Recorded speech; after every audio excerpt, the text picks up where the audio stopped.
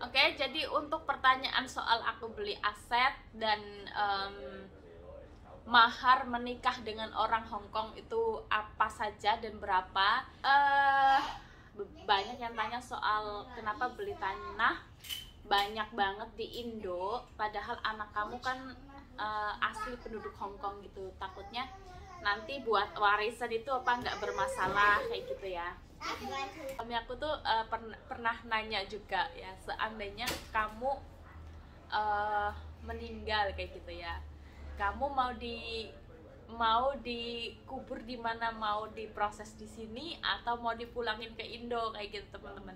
Nah ini aku mau nanya sama kalian, menurut kalian em, kita harus pilih yang mana kayak gitu. Intinya di sini kalau di Hong Kong itu sama suami sama anak-anak, kalau di Indo sama saudara dan orang tua. Kalian pilih yang mana teman-teman? Nah, ini aku tanya sama kalian ya. coba, coba komen di bawah ya.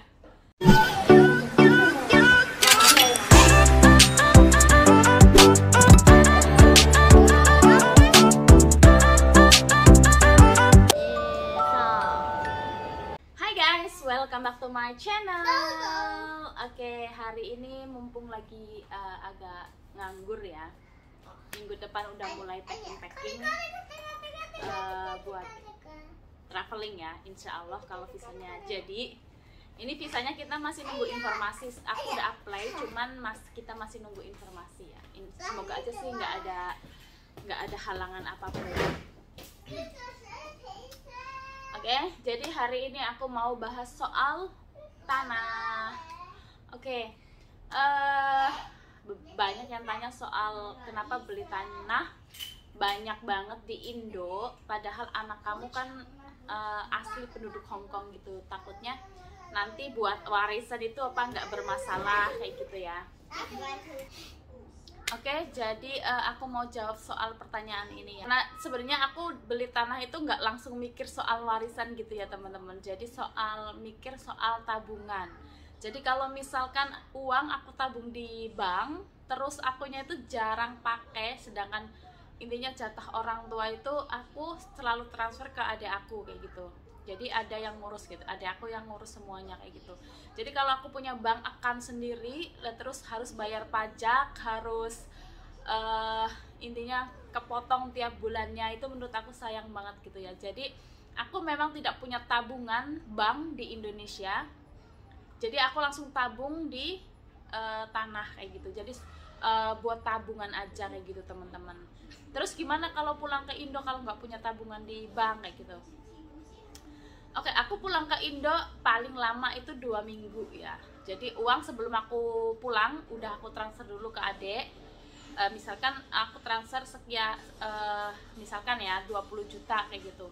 Tapi di eh, HP aku kan ada WeChat Pay atau TNG kayak gitu. Jadi alat-alat ini aku isi penuh aku isi penuh jadi misalkan kalau aku kurang uang pas di Indonesia gitu ya bareng sama suami kayak gitu ya aku transfer sendiri dari HP jadi langsung transfer ke rekening adik aku kayak gitu. Kayak gitu teman-teman. Jadi aku memang tidak punya tabungan di Indonesia berbentuk bank itu aku nggak punya. Karena aku mikirnya kayak gitu soal pajak terus tiap bulannya juga kepotong kayak gitu ya saldonya kepotong terus kayak gitu. Jadi menurut aku sayang banget kayak gitu. Oke jadi untuk soal warisan em, sebenarnya kemungkinan besar kita untuk tinggal di Indonesia itu sedikit. Cuman karena memang mumpung ada tanah murah dan lokasinya itu bagus makanya aku beli Ka- kalau misalkan suatu saat kita pengen eh, pulang Indonesia dalam jangka waktu panjang eh, kita juga punya mi- misalkan kita eh, pengen pulang ke Indonesia pengen stay di Indonesia beberapa tahun kayak gitu aku udah punya tabungan sendiri kayak gitu. Intinya punya lokasi buat buka usaha ataupun apa gitu. Oke jadi eh, aku beli tanah ini aku memang cari yang lokasinya itu strategis deket sama em, jalan raya kayak gitu. Karena cita-cita aku dari dulu itu pengen buka eh, food court. Jadi pengen buka usaha food court kayak gitu teman-teman. Dan kalau misalkan um, aku pengen stay di Indonesia atau pengen buka usaha aku udah punya tanahnya sendiri udah punya lokasinya sendiri kayak gitu. Jadi tinggal siapkan dana untuk membangun uh, food courtnya kayak gitu. Jadi kalau soal warisan aku uh, mikirnya belakangan. Tapi uh, kalau misalkan aku pulang Indonesia dalam jangka panjang aku memang mau ngurus uh, datanya anak-anak jadi pertama aku harus ngurus uh, nikahan kita karena aku cuma nikah di Hong Kong ya tidak nikah di Indonesia. Tapi bisa didaftarkan di Indonesia juga kayak gitu. Ada proses pengurusannya sendiri. Jadi setelah uh, ngurus proses nikahan di Indonesia biar terdaftar di negara Indonesia setelah itu aku mau daftarin anak-anak ke kartu keluarga aku kayak gitu. Insya Allah pasti ada jalan ada prosesnya kalau kita mau tanya kita mau cari tahu insya Allah bisa diproses ya. Jadi kalau soal warisan aku pikirnya belakangan. Jadi aku beli tanah segitu banyak itu memang niat buat tabungan pertama. Kedua persiapan buat buka usaha kalau misalkan pengen usaha di Indonesia kayak gitu teman-teman. Oke, jadi tanah aku itu ada berapa sih dan jenisnya itu apa aja sih? Oke, uh, pertama um, kalau rumah nggak usah dibahas ya, jadi rumah udah tempat tinggal kayak gitu ya. Uh, pertama ada kebun, jadi kebun pertama ini aku beli waktu aku lahiran Koni, jadi aku dapat hadiah kebun 100 uh, 107 hektar itu hadiah dari suami pas aku lahiran Koni. Nah, yang kedua itu tanah kalau yang kedua itu sebenarnya uh, gade ya, orang gade kayak gitu. Uh, eh, 150 juta waktu itu gade selama empat tahun tapi dia nggak bisa ngebalikin uang kayak gitu. Nah, akhirnya tanahnya itu dijual semua. Sebenarnya uh, tanahnya itu satu ubinnya itu 6 juta 500 per ubin ya dan akhirnya aku tambahin kemarin uh, pas kemarin aku dikasih 500 juta itu jadi total uh, sawahnya itu adalah waktu lahiran Ilon jadi waktu lahiran Ilon itu ada orang butuh dana 150 juta pinjam ke kita gitu terus digadein itu sawahnya tapi akhirnya kita beli sawahnya kayak gitu. Terus nambahinnya tuh berapa? 200 lebih kalau nggak salah. Soalnya aku nambahin dua 30 ubin jadi aku dapatnya itu uh, eh, 150 juta itu dapat 30 ubin. Terus aku nambahin itu 30 ubin jadi total 60 ubin. Sawah yang uh, hadiah lahiran Ilon kayak gitu. Oke jadi lahiran Ilon itu dapat sawah lahiran Koni dapat kebon. Terus ulang tahun aku kemarin yang 500 juta itu dapat sawah 100 ubin sama dapat kebun juga 80 dapat kebun lagi eh, uh, 62 kayak gitu teman-teman. Jadi uh, aku beli beli ini itu hadiah dari suami kayak gitu teman-teman. Jadi uh, kemarin pas ulang tahun ke-30 pas kebetulan ada orang jual sawah. Terus aku bilang sama suami aku pengen beli sawah kayak gitu. Terus uh, dia bilang oke. Okay. uh, tapi sawahnya itu sebenarnya yang yang eh, yang mau aku beli itu total sawahnya itu 180 ubin cuman pada akhirnya kita nggak cocok kayak gitu. Tapi karena uangnya udah dikasih ke aku makanya aku uh, beli uh, sawah 100 terus sisanya aku beli dua kebun kayak gitu.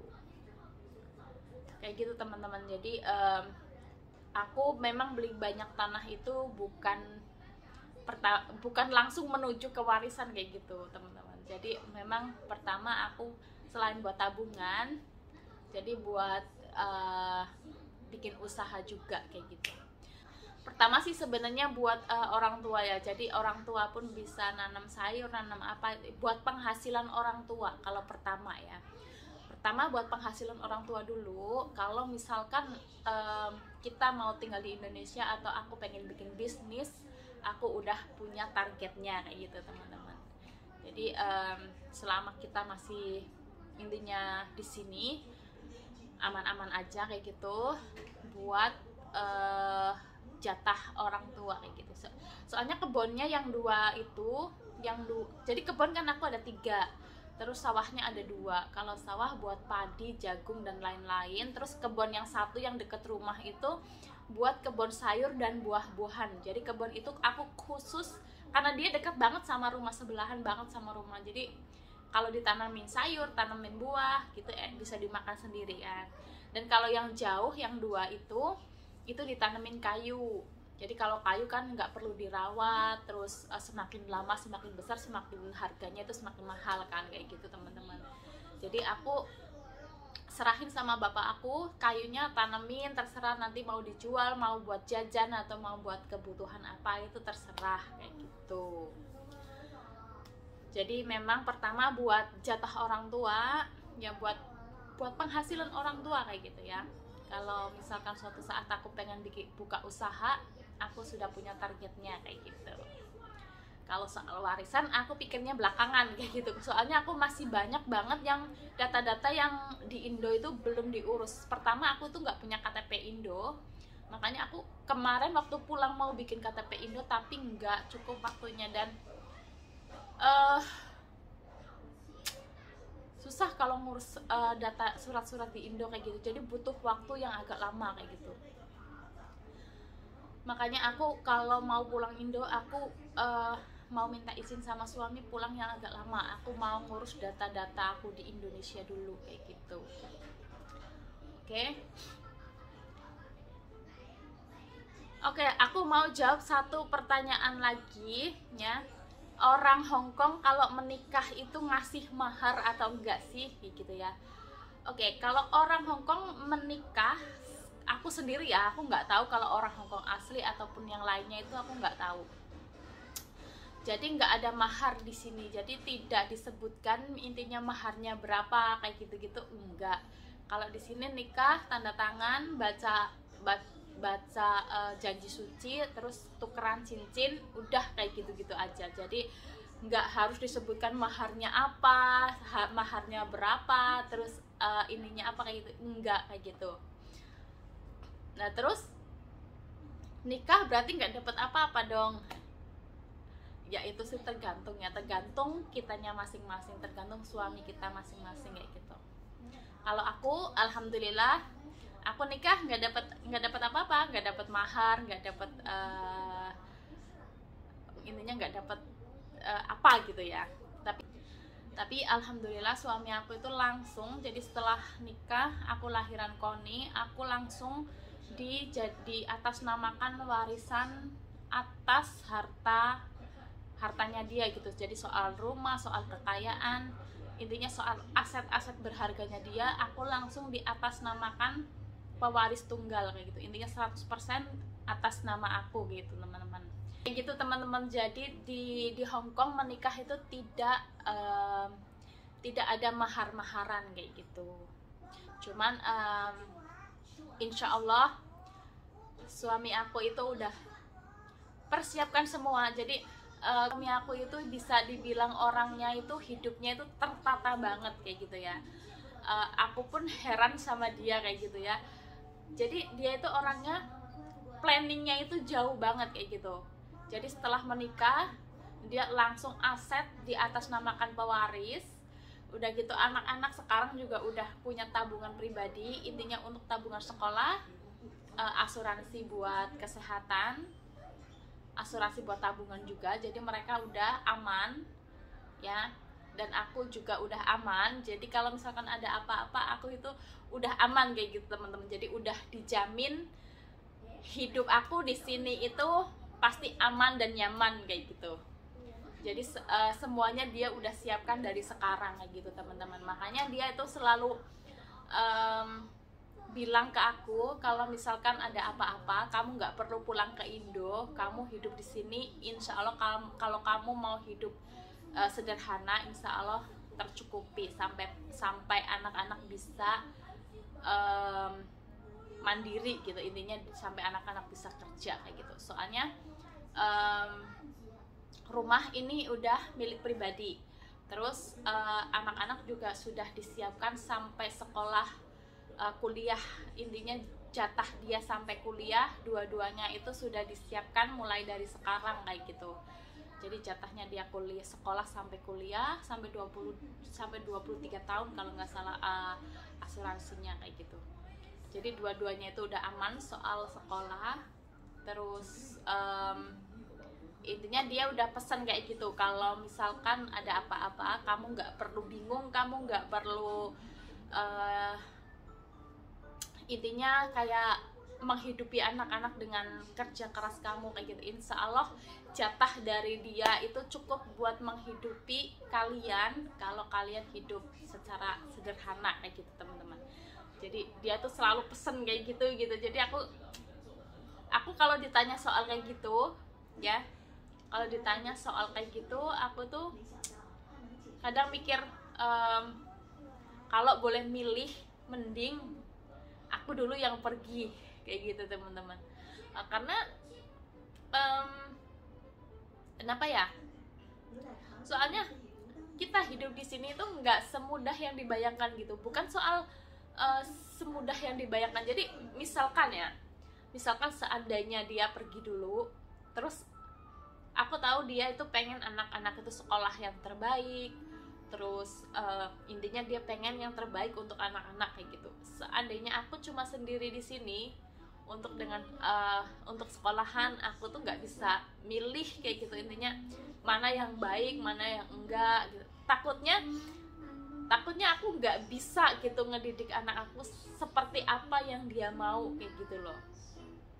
Jadi kalau dia uh, ngomong soal um, soal ini aku tuh kadang bilang sama dia kalau seandainya boleh milih mending aku dulu yang pergi. Kayak gitu teman-teman. Aku kadang kalau mikir soal yang ini tuh kayak hmm, apa ya aku sanggup seandainya aku harus sendiri ngebesarin anak-anak. Bukan masalah soal biaya soal apa ya. Jadi kayak tanggung jawab kita itu lebih lebih besar banget kayak gitu. Soalnya aku tahu suami aku tuh pengen yang terbaik untuk anak-anak kayak gitu. Aku takutnya aku nggak bisa memberikan yang terbaik untuk mereka kayak gitu teman-teman. Makanya kalau uh, ngomong soal ini tuh aku uh, angkat tangan banget. Nggak perlu nggak mau ngebahas soal kayak gini kayak gitu teman-teman. Oke. okay.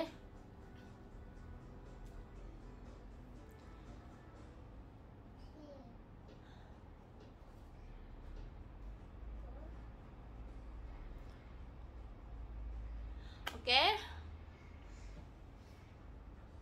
Kan aku jadi pengen nangis. Kadang kadang suami aku tuh uh, pernah nanya juga ya seandainya kamu uh, meninggal kayak gitu ya. Kamu mau di mau dikubur di mana? Mau diproses di sini atau mau dipulangin ke Indo? Kayak gitu teman-teman. Nah ini aku mau nanya sama kalian. Menurut kalian um, kita harus pilih yang mana kayak gitu. Intinya di sini kalau di Hong Kong itu sama suami sama anak-anak kalau di Indo sama saudara dan orang tua kalian pilih yang mana teman-teman?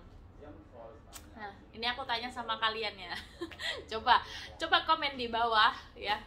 Berat banget kalau kalau disuruh milih antara dua ini kayak gitu.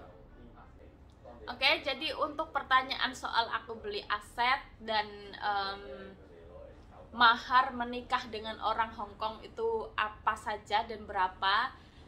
Aku udah jawab ya. Oke aku mau aku mau lanjut masak. Oke guys sekian dan terima kasih untuk videonya. Kalau ada pertanyaan boleh komen di bawah. Aku masih ada beberapa pertanyaan yang belum dijawab. Insya Allah kalau aku ada waktu aku akan jawab ya. Oke thanks for watching and see you on next video. Bye